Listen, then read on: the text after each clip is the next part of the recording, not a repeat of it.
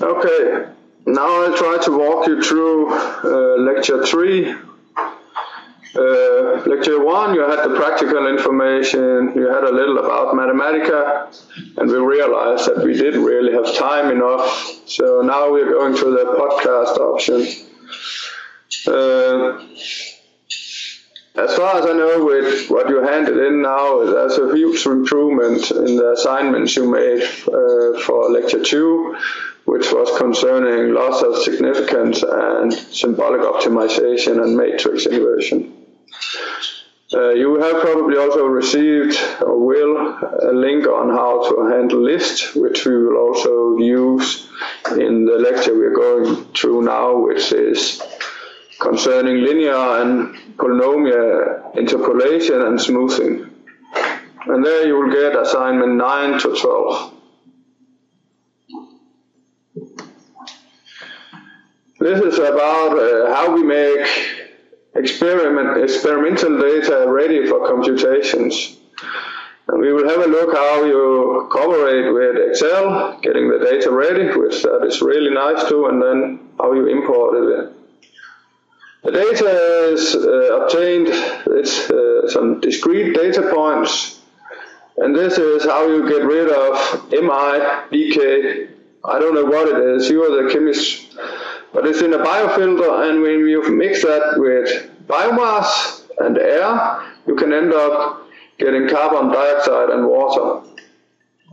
And what you, uh, if you measure on it, if you have the time here in hours and you have the concentration, you can see it degrades to zero after approximately 58 hours. This is little beast you, which has been degraded. The chemistry, you have to ask your other teachers for details. But what is really the cause here is when we want to play, we need continuous functions. And if you have these uh, discrete points you saw, you are, do not have a continuous function, you only have points on it. And if we assume that there's something in between, then we can end up with a function saying that the concentration are equal to a function which depend on time. But why do we need that? We need that, for example, if we want to know the rate or the change in concentration over a time span.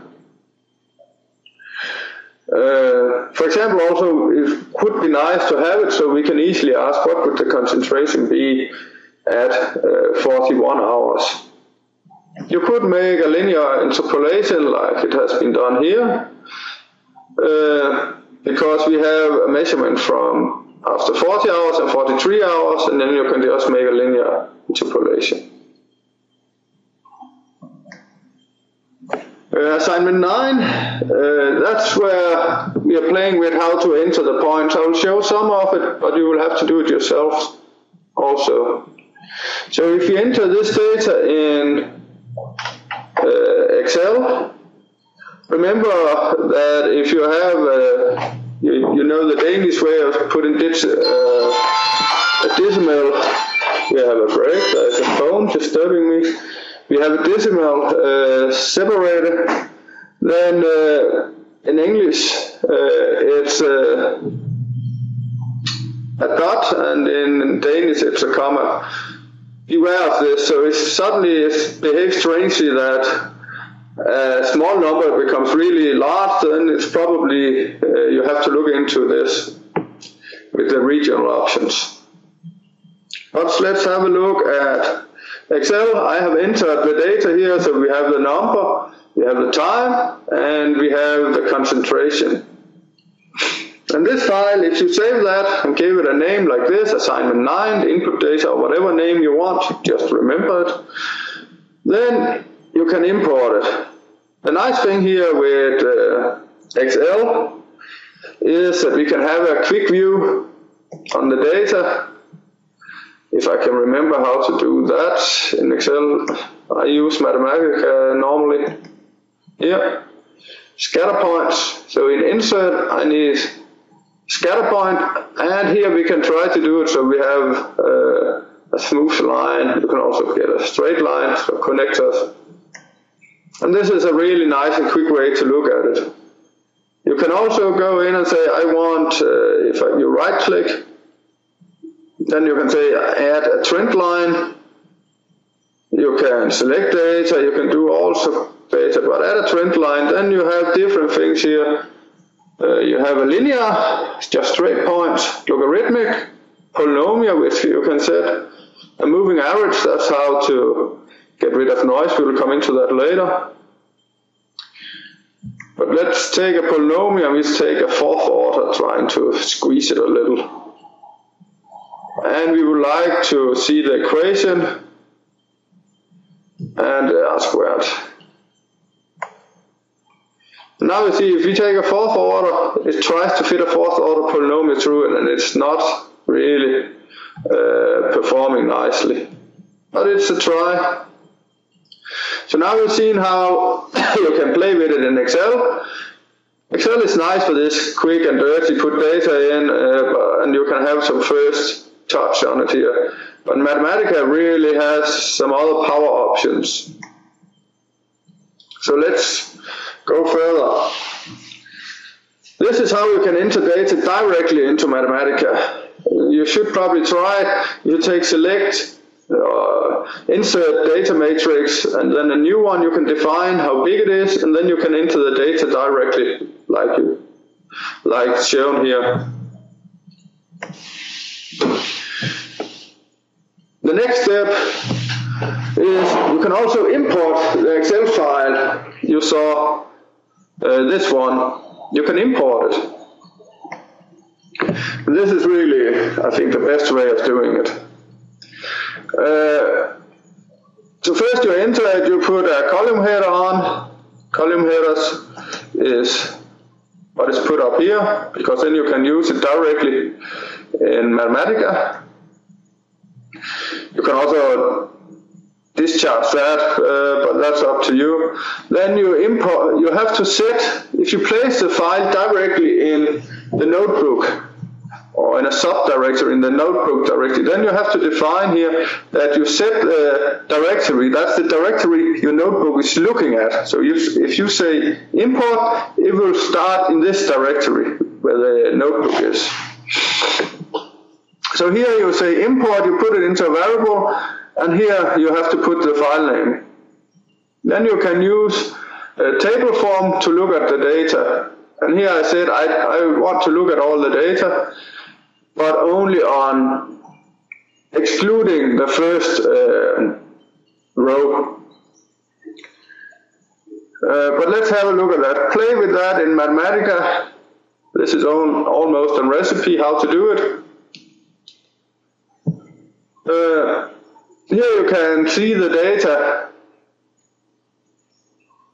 Um, and if you want to look at, for example, one column, uh, this is number two.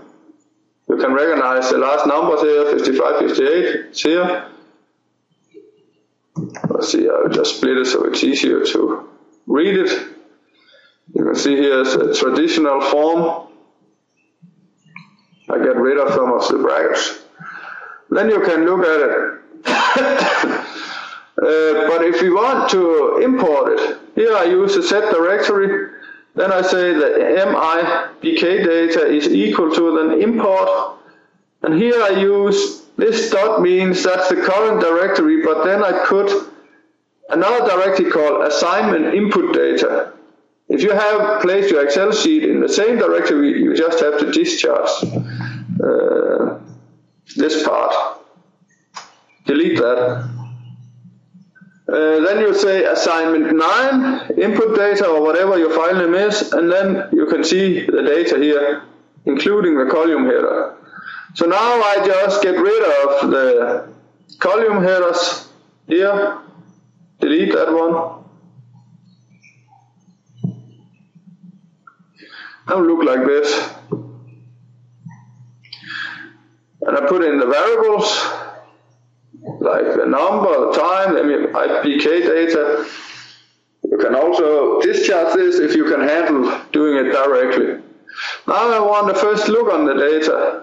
And here you can use a command. Remember to use help to get further information called list plot.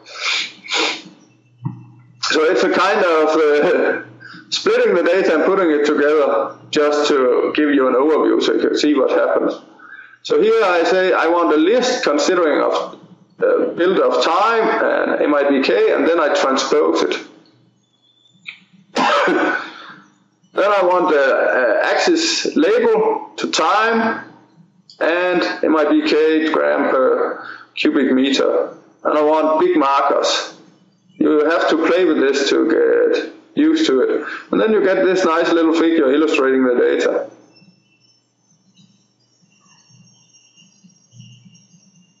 You can also uh, link these markers, but you have to look into help how to do that. It's something, look for joint, and you'll probably figure it out. Now we want to fit a straight line through the data, just to see a trend line, if we can call that. That's also what you could do in, in uh, Excel. This was a polynomial, but you could also um, see if I can figure out to use Excel. So very seldom I use it. But here you can see a straight trend line through it. And you have the equation here, an r squared. So let's have a look. You can recognize the trend line from Excel. What happens is that uh, when when you make this uh, linear model fit, in fact we'll come back to that later, we're jumping a little ahead, I said I just want the equation considering of x using x. So that's because you can use several variables if it's 2D. See more in help. And here uh, you have the equation. But this fit, you can extract a lot of data. And was, uh, you can look in help what you can get out of data, but it's really a lot. Uh, considering how well the plot was. But here we merge it all together. Show is a way to, to merge two different plots. So first we take the list plot you have already seen. It goes until here.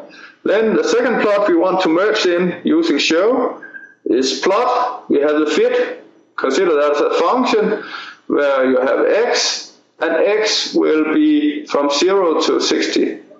And then you get this line. So that's a kind of trend line.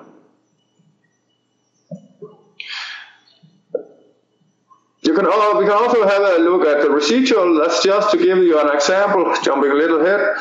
Then I ask the fit, which has a contain all the data, kind of information container from the fit.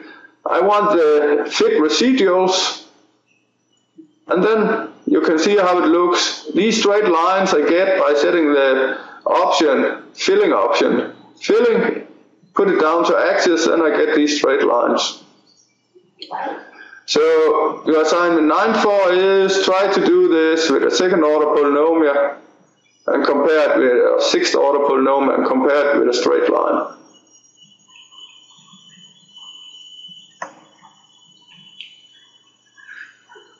Let's have a look at the interpolation function. Uh, if you look at help, this one gives you a, an approximate function for the argument x uh, standard output, uh, you can see it in help, but it will just say that there's a lot more data uh, in it. For example, here I take the IFIT, I transpose the data, and it makes an interpolation. And this just indicates there's a lot more to come after. If I want to see what happens when I use the interpolation function, then again the list plot I'm using instead of fit the ifit for I for interpolation. And then we can see how the data has been uh, it's not it's kind of bent lines between this more of that soon. But you can also ask the interpolation function uh, for specific uh, values for different points. That's in fact what happens here ask for values from 1 to 59. Uh, and now we get close to what was really nice here. It does the job for you. You can also uh, differentiate it. So uh, in this assignment 10, you look at the derivative of the interpolation functions, how to use that. What is really nice is that you get, uh, you work with a mathematical function, which is continuous, no sharp corners. So it means that this one is continuous. It's uh, have a defined ratio of curvature, so this one is nice. And it works in the whole range. Remember, it's interpolation, not extrapolation, so it's between the data points. where you can feel safe. If you go the other side, strange thing happens. At least there's a risk. Uh, look is that we can have a kind of piecewise uh, linear interpolation. Uh, but the problem is if it's just straight line, it's hard to fulfill these options here. So the assignment here, you have to try to do that. I also think I put a little tip that if you use interpolation function like this, here you define that here's interpolation order one, that's the same as putting a straight line. And then you can ask for the derivative at tree, see that, how it looks. You can also uh, second order derivative and then you can use the plot function. So if you combine this with the range you played in the last assignment, uh, then you can see what happens.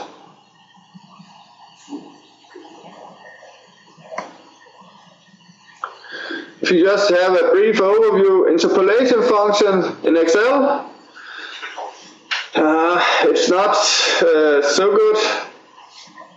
There's some data about Mathematica, no problem.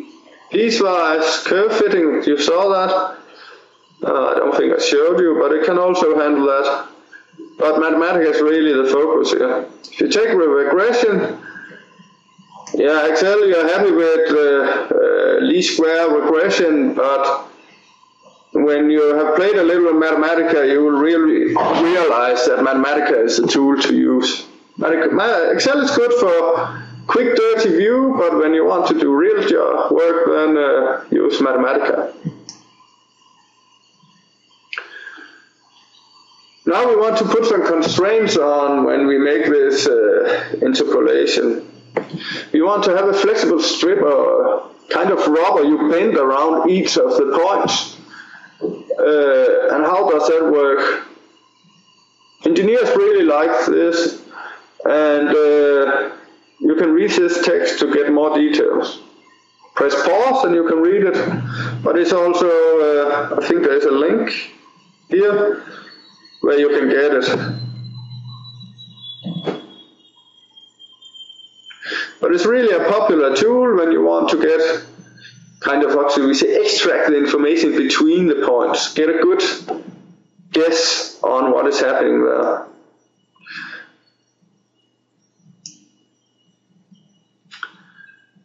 If you want to look at the theory, uh, I think the easiest way is to have a look at YouTube instead of me talking. Then you get a little variation. I found one. You can look at the link if you want to use it later. So let's have a little lecture.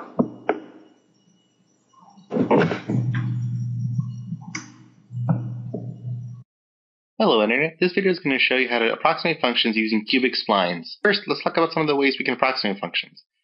One of them is to just draw straight lines between each point that we have. Another is to draw quadratic lines between each point that we have. Even better is to draw cubic lines. There's another method we can use which gives us an even better looking curve called splines. So what is a cubic spline?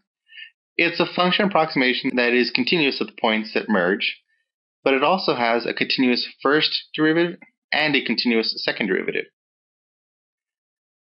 Let's look at some examples. The first one on the left is an example of two functions that are not continuous. Middle example is two functions that are continuous, but they don't have continuous first derivatives. This last example is continuous, as well as having a continuous derivative at the point where they join. A natural cubic spline is still a spline, but it also has a second derivative equal to zero at the endpoints. And unlike Lagrange polynomials, each point in the line doesn't affect the entire line. So how do you calculate a cubic spline?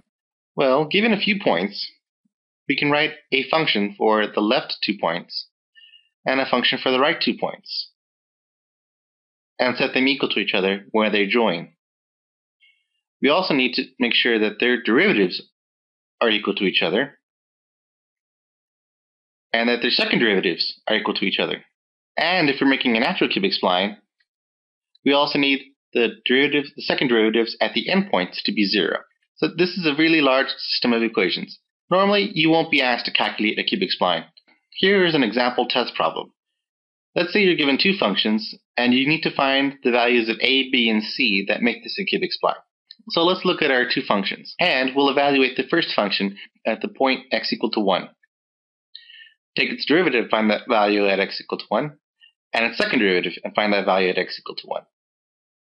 The other equation should have those exact same numbers of negative 2, 3, and 6. So we'll plug in 1, plug in the 1 at the first derivative, and plug in 1 at the second derivative. This gives us three equations and three unknowns, which we can solve so that a is 0, b is 0, and c is equal to negative 3. Let's look at another example. Find the value of a to make this a cubic spline. The first equation is simply s is equal to 0, which is still an equation. We'll also need to find its first derivative and second derivative when x is equal to 1, which is going to be equal to 0. Now let's look at our second equation. We set that equal to 0. Well, that doesn't tell us anything. The first derivative equal to 0 also doesn't tell us much. And the second equal to 0 also doesn't say much. When we say that a can be any value, this is saying that any value of a will make these two equations a cubic spline. But we also want to find the value of a that makes a natural cubic spline. So we'll look at the endpoints. In the first equation, oh, it's going to be 0. But the second equation, the second derivative also has to be 0. And in this case, the only value of a that makes this a natural cubic spline is 0. Thanks for watching. These uh, recordings. I think this is basically he went through this theory and in Mathematica, there's a lot more than cubic splines. Uh, you can really play with it. Uh, but if you need it, you can read more about it. Here's a little uh, extract. Uh, has a cubic spline, which we will focus on here, but you also have uh, another option where you use Hermite. Um, But, but the idea is, as you've seen, the interpolation uh, returns as a function, interpolation function. You can just use as it, as it was a function. You can set the order of interpolation, so if it's one is straight lines, and you can just increase that. You can select the method, spline, or the Hermite. And if you want more data on what it is, you can look at it here at these two links. Uh, yes, time is running for me.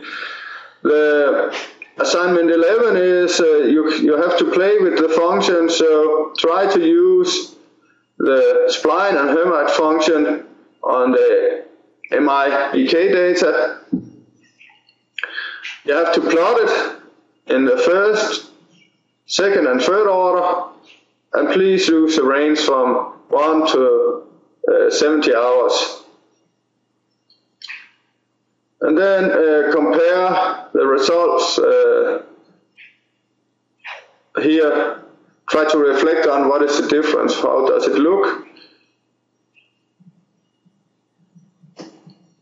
And then give me the value here.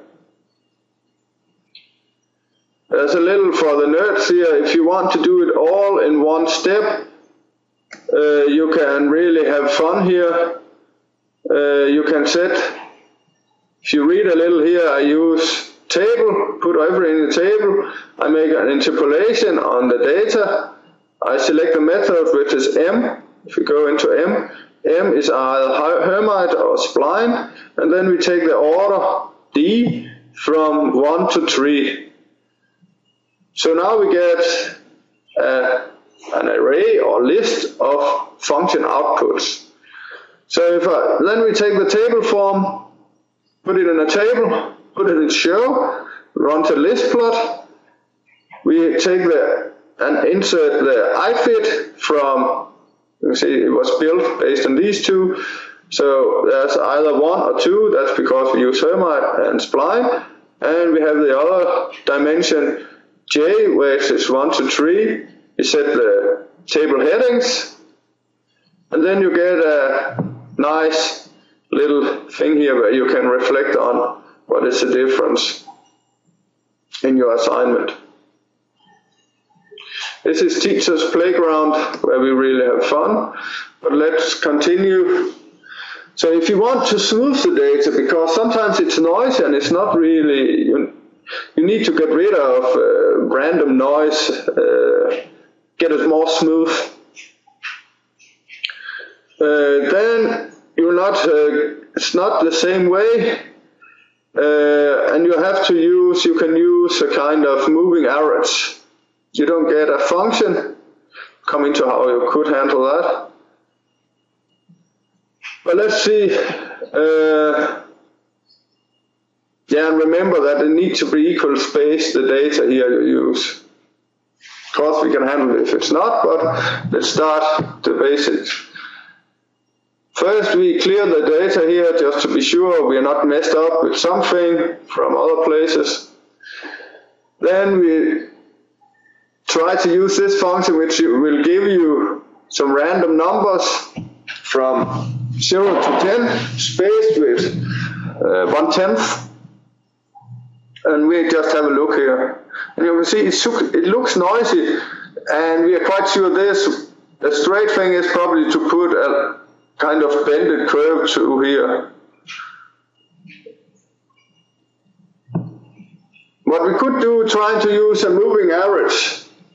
So there is a function called moving average of 3. So it kind of take, if you're standing here, the next two points and wait with the other one and take the average.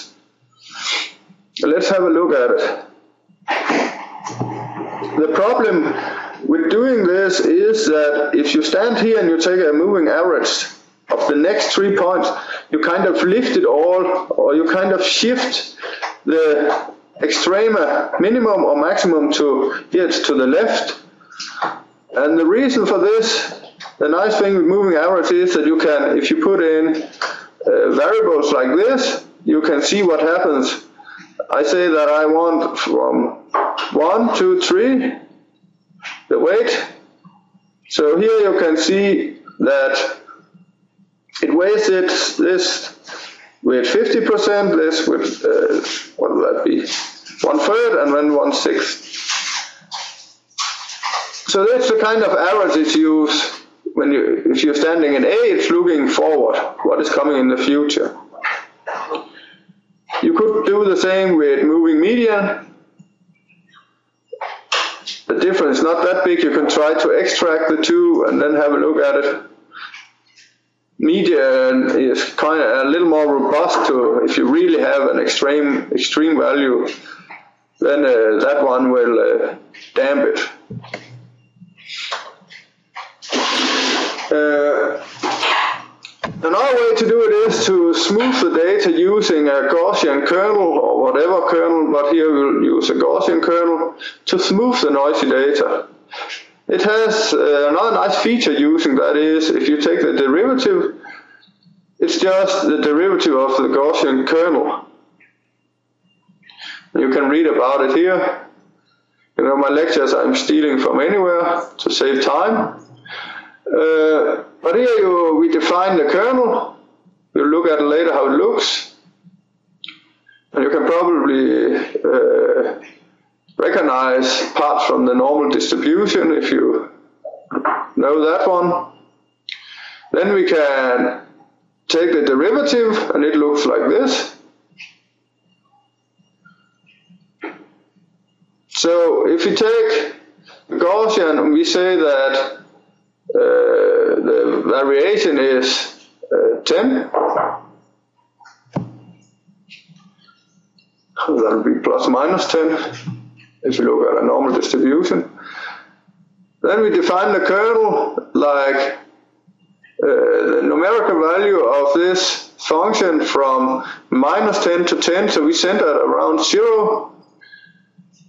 Then we scale it by dividing with the sum of all these values we have in the kernel.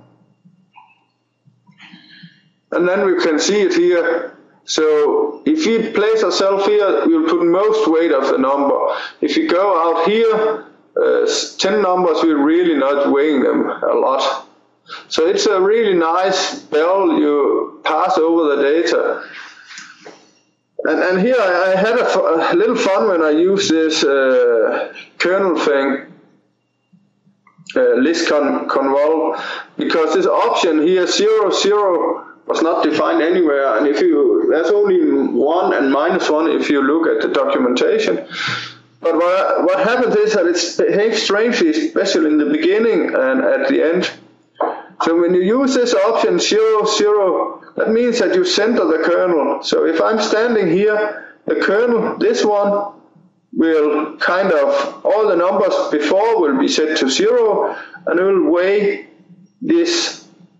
And another, if I'm standing here, it will really weigh this point a lot, and points if you go to the left will weigh less and less.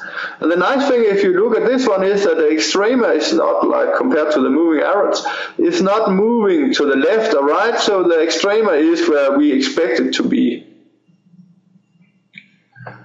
Uh, so this uh, zero zero, uh, it's not stated in the documentation, but it, it makes the kernel behave nicely.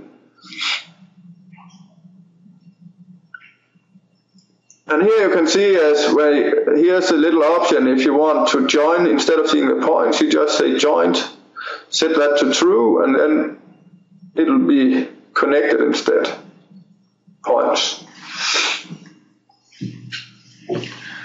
Uh, now, when I want to show it, I want, would like to put uh, legends on, so I need to import a little tool pack, so that's what I do here.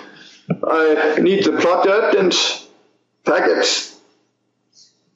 So this is just something you do in order to get these options you'll use later. We will take the derivative, if you recall that one.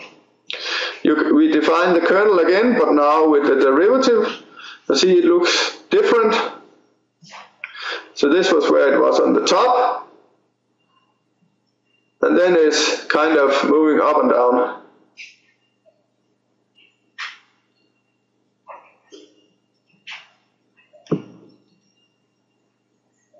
If we then look at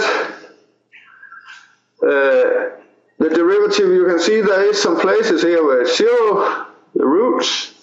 If you want to find the roots of that, you can use an option. Again, uh, the list convolve, just to return to that, if you, it's exactly the same as uh, with the derivative. Remember, this is a derivative now as before. And if you want the roots here, that's where you have the extrema, either maximum or minimum. Then you can kind of using find root. I don't think you use that one. Uh, where you use the interpolation function. It says x, and you set x to. That's the first guess. Uh, you set x to 22 because you can see it's approximately there, it's approximately 50 and then 55 and you get the roots. Or at least a really good guess on it. So now if you want to look at it together, I have scaled the derivative. Uh, so I make a list plot, which you know where I put functions together. I scale the derivative with 50, so it's kind of more clear to see what happens. I define the size of this uh, list plot to uh, 600 uh, pixels. And uh, then I set the plot style. That's the different colors used when it makes a plot. Black, red, green, and blue. I set the legends. I know it's the raw data, so here. You have the Gaussian kernel here, and then you have 50 times the derivative. So that's the legend which is put here on the figure. So this is a little how to use Mathematica.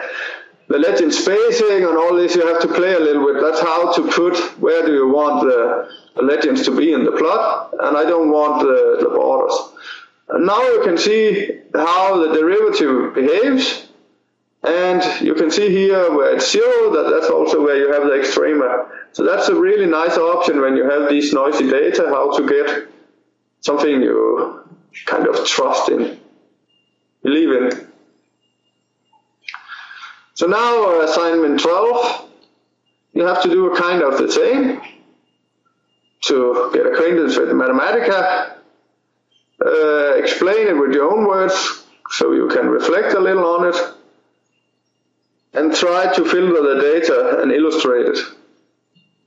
You don't have to do it exactly like me. The important thing is that we can see that you have been fighting with it, playing with Mathematica, and please remember to play with it. That's the way to learn learn it. And that's it. So we will meet on Wednesday.